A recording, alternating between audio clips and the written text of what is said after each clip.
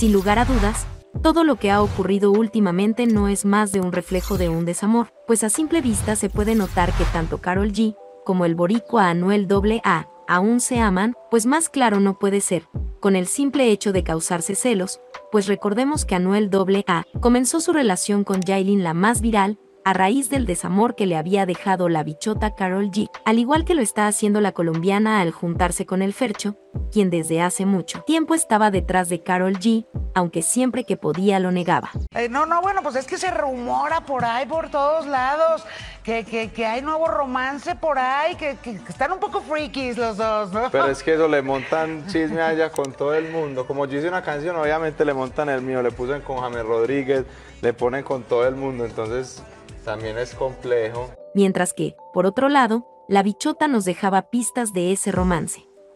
Pues Carol G hace unas horas en su jet privado se pudo notar muy emotiva, no solo por sus éxitos musicales, sino porque extraña a alguien, pues a pesar de mostrar públicamente que estaba con el Fercho, se le pudo ver muy triste mientras disfrutaba con su equipo de trabajo. Recordemos que asimismo como Anuel AA, utilizo a Jailin la más viral para olvidar a Carol G, pues se comenta mucho que Carol G está usando al Fercho para superar al Boricua, pues muchos de sus seguidores confirman que la bichota ya olvidó a Anuel, pero ella misma le ha dado muchas pistas al mundo de que aún hay fuego entre ella y Anuel AA.